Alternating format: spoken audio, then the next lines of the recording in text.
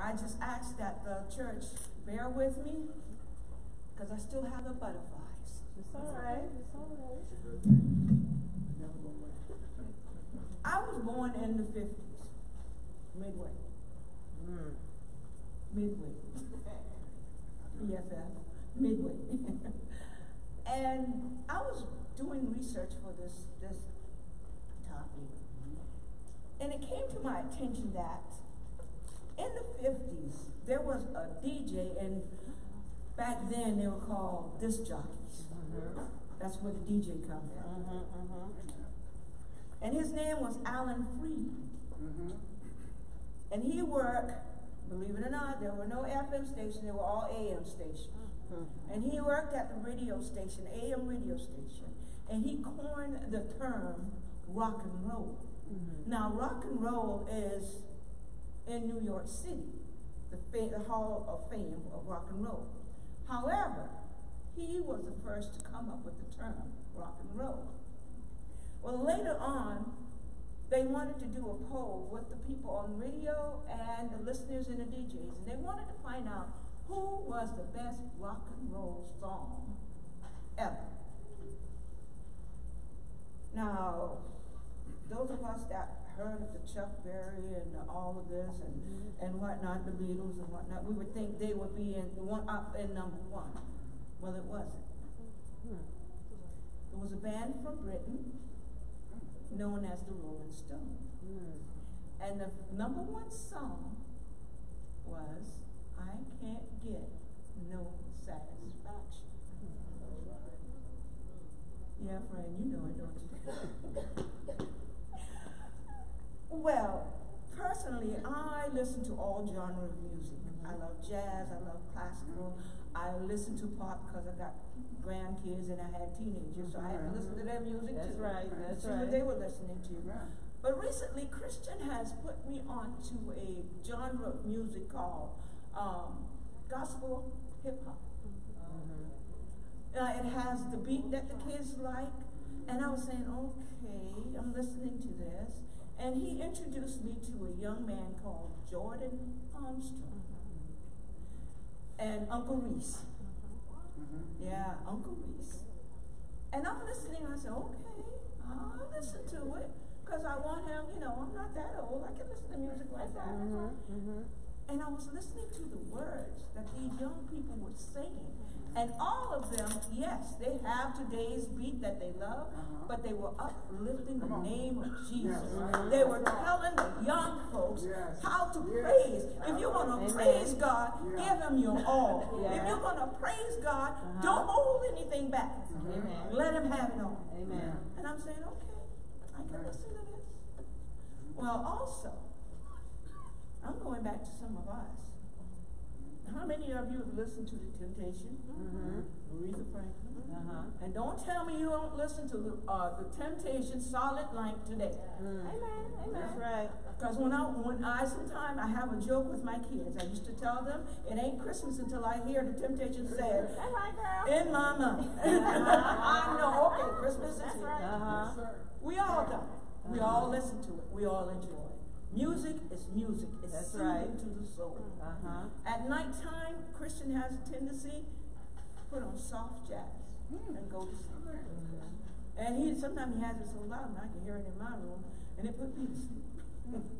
but music is a part of what I enjoy. Mhm. And like I said, especially when the Temptation sings at Night.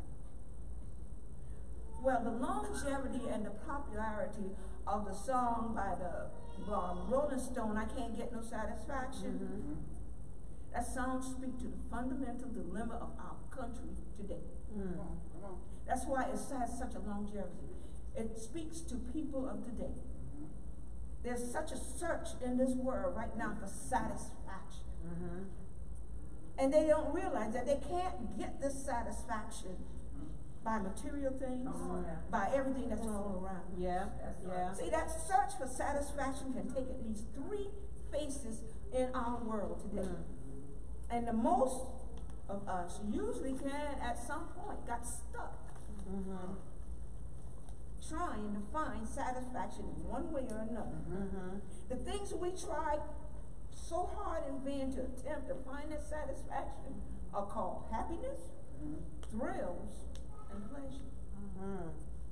All three of these things refer, is referred to in one way or another by Apostle Paul in Galatians 5, verses 19 through 21. And it's being related totally to the works of flesh or the acts of sinful nature. Mm-hmm. Paul refers to them by names such as drunkenness, debauchery, discord, and dissension. We can refer to the same impulses of human spirit by different names happiness, thrill, pleasure. But the motivation and the desire outcome are the same. We're trying to create satisfaction for ourselves. Mm-hmm. See, some people observe and they're obsessed with finding happiness. They're wanting that specific time when they were happiest in, uh, in all, at all times, no matter what age they were. That's what they search for. They want to live in a Disney world all the time, Mm-hmm. forgetting that Disney world is only make believe. That's somebody.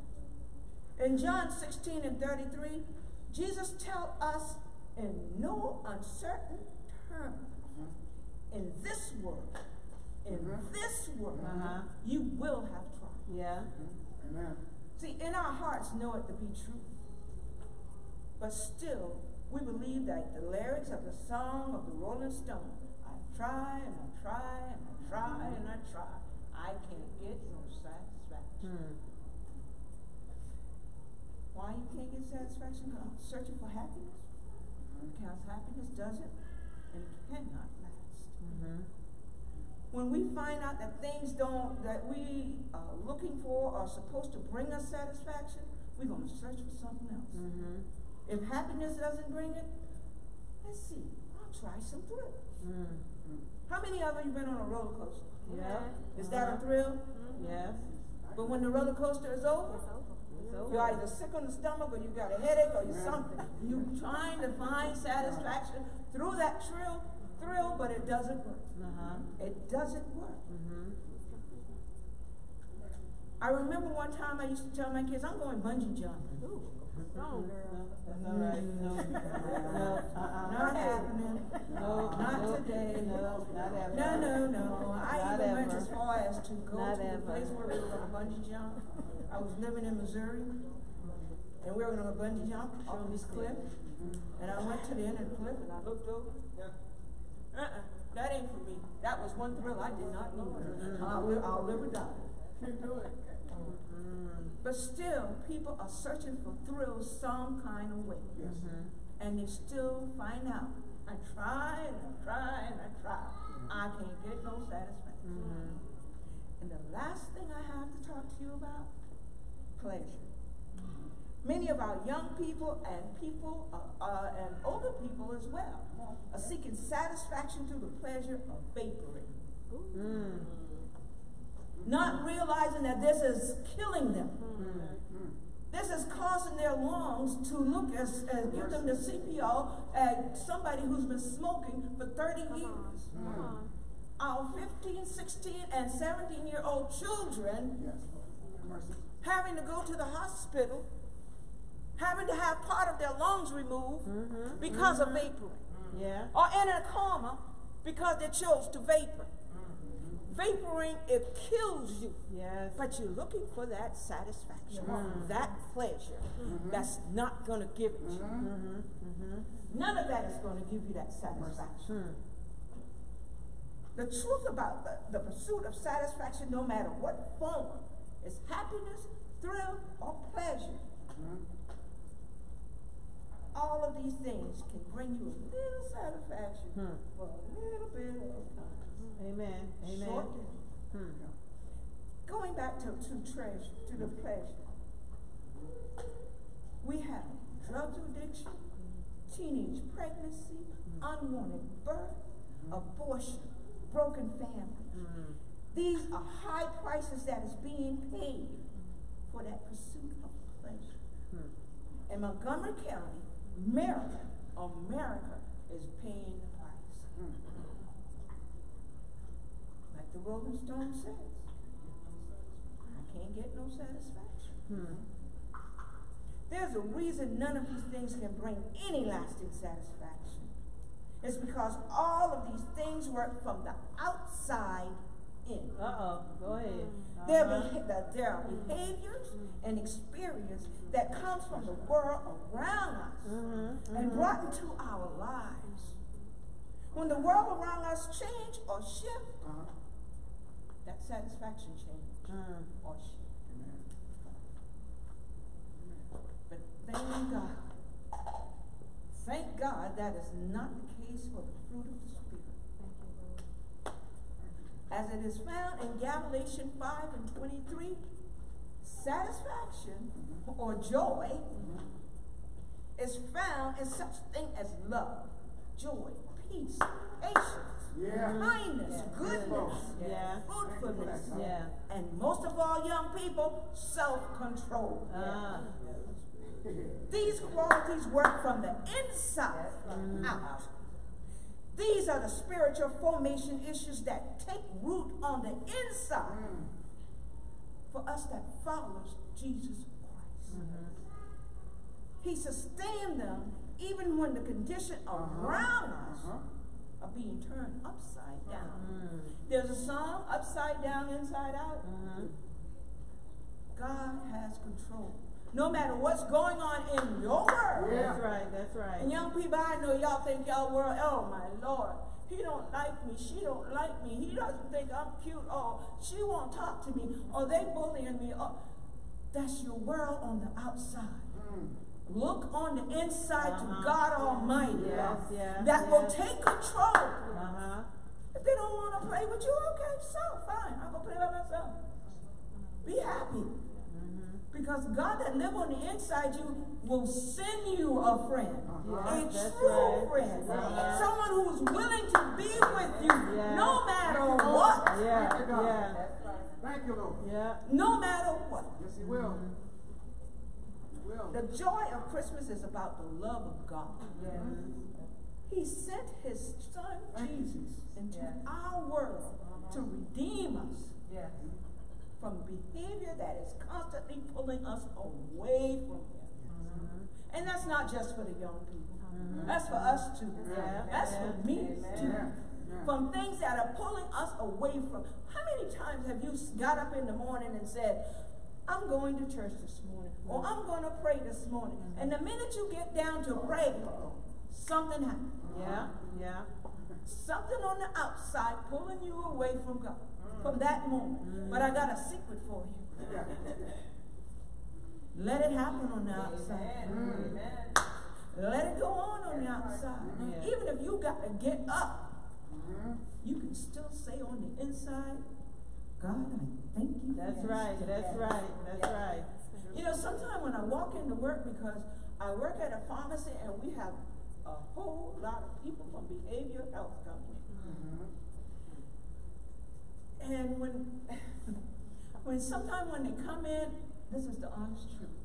I can see that evil spirit on them. Mm. Amen. Amen. And I look at them and they will have such a nasty little attitude. And my thing is today, I do not look at people and say happy holidays. Mm. I don't have, I don't celebrate happy holidays. I celebrate Merry Christmas because it's the birth of my Savior, my Lord. And I tell people, Merry Christmas. This lady came in, and when she came in, and I was talking with her and getting her medication, and at first, to be honest with you, I couldn't quite understand her. She was a foreigner. She was speaking so fast. And I asked, I said, ma'am, please slow down so I can get your name right and I can get your medication. And she gave me that.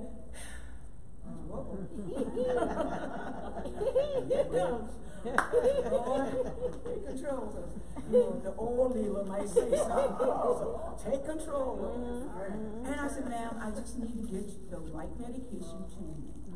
So she slowed down and gave me my, uh, their name. I gave her her medication. And when she took her medication and went, walked off, I looked at her and I said, Merry Christmas. She stopped. Whoa. I know what's going to happen at this point. What is she gonna say? And she turned around and she said, thank you. Uh-huh. I was taken aback Mhm. for her to say thank you. Yeah, yeah. And I looked and she said, because people don't say Merry Christmas anymore. Mm. Oh, hmm, okay. But you gotta let God use you. And if you got him on the inside, tell you what to do in a 2nd Mhm. No matter what comes up against you, no matter what that friend might act or say, no matter how much you walking down the hall, you pushed. Amen. Just look at it and say, excuse me, and keep it moving. Mm-hmm. In this Advent season, Advent season, I'd rather have the joy of the Lord than the satisfaction of the world any day. And here's three reasons why. Joy comes as a result of faith and trust that resides on within us, Mm-hmm. and not in relationship to material or sensual things going on around us. Mm-hmm. We are so easily and so quickly forget that the glad tidings and great joy spoken to the shepherds of Bethlehem by the angels of heaven was about the birth of a Savior and not about the discount prices at Walmart, Macy's, or how much discount you can get online. Uh-huh. Uh-huh.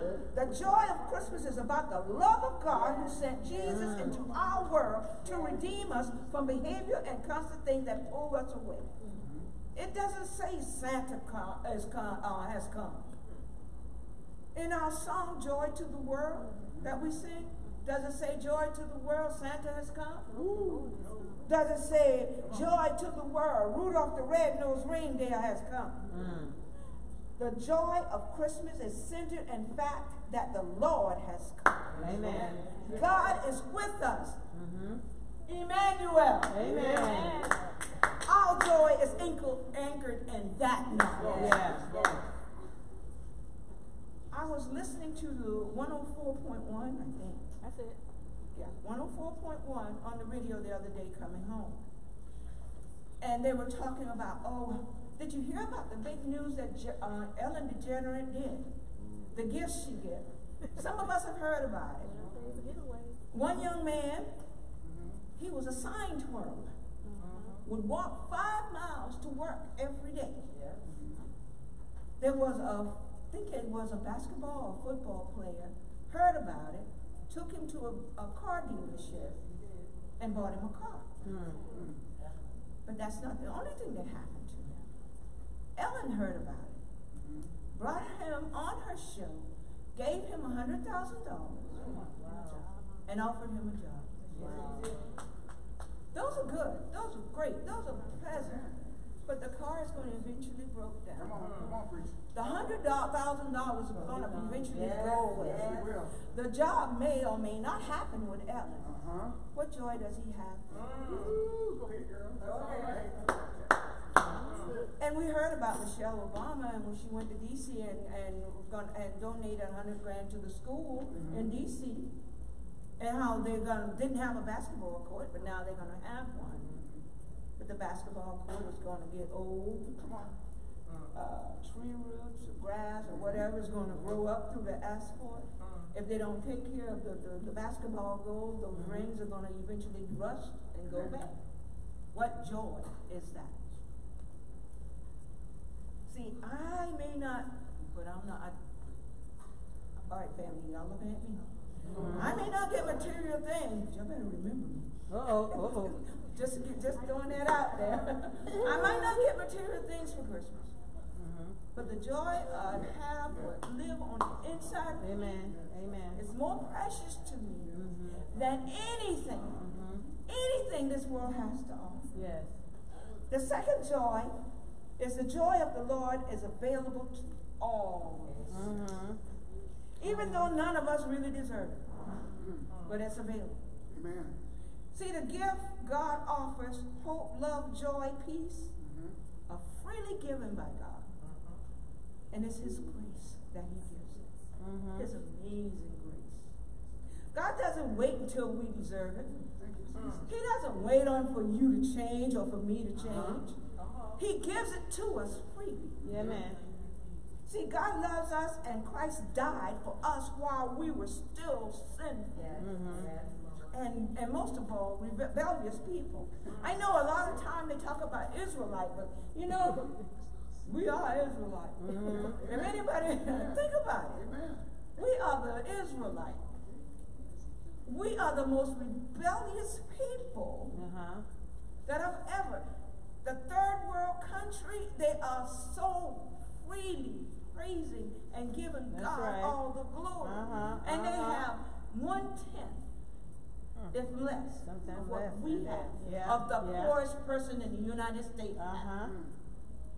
Mm. They are so willing. Mm-hmm. But sometimes, and I hate to say this, but eco, sometimes we have to prop and prod, y'all. Mm-hmm. Think about where God brought you from. That's right, that's right. See, I know sometimes I get out and I don't even care. That's right, go Look ahead. at me funny, look at me strange. But when the Holy Spirit hits me, Go ahead, and I think ahead. about what my God has done for Yeah. me, Yes. I can't help but get ahead. loud. Yes, The yes. fact of the matter, at Uh-huh. any given time you see me standing here praising Him, Uh-huh. I don't even see Him. Hmm. I'm in the presence of my Savior. Yes, And I'm giving him the glory. I'm Yes. giving him everything I got. Yes, Amen. Because he gave me Uh-huh. everything he had. Mm-hmm, mm-hmm, mm-hmm. Amen, amen. Mm. It is an unspeakable joy. Mm-hmm. Sometimes people say, Why are you smiling? I say, I can't I can tell you, but you wouldn't understand. and I just go on about my business. Mhm. Sometimes I walk in the halls uh, uh, uh, uh, of the hospital taking medication to people. And when I get in there, the Holy Spirit just say, pray for me. Sometimes I ask them if, I, if it's okay if I pray with them. Mm-hmm. If he leads me to do that. Most time I just say, as they signing the paper, I'm praying. Whatever it is, Lord, you Mhm. have control. Amen. And that's it. Amen. But that joy I feel on the inside Amen. when I walk Amen. out that door, Mhm. ain't no man can take that. from That's right, that's right. Now the That's third right. thing and final thing I want to talk to you guys about about joy is a very personal, very. See, I learned this from my mommy. In 1995, my dad died, and it was a quick death. I took him to the doctor on the 13th of October, and on the 20th of October, he took his last breath. Now, during this time, before I took him to that doctor, we were taking my mom back to the hospital, back and forth, having treatment. She was in remission from cancer for over 18 years, but it came back with a vengeance. But my dad, my dad just, he just left us. Within seven days, he was. And I can remember about almost a year around this time, this time of the year sometimes gets to me. But I know what my mom said to me. Because we, she and I were sitting down and we were talking. And I just made the comment, said, we had a pretty rough year this year, Mom, haven't we? And she looked at me and said, yeah. My mom, she liked, she had a rocking chair in her den.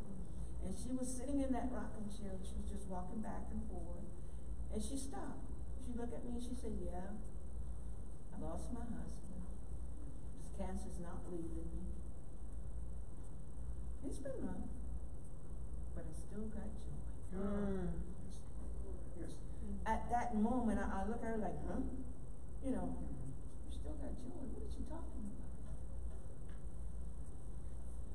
My mom lived 23 months after my dad. On September, September the 16th, which would have been his, October would have been his second year anniversary, she took her life.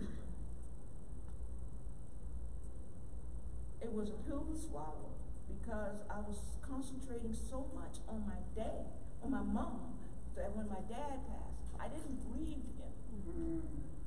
So when my mom passed, it was like I grieved the both at the same time. Mm.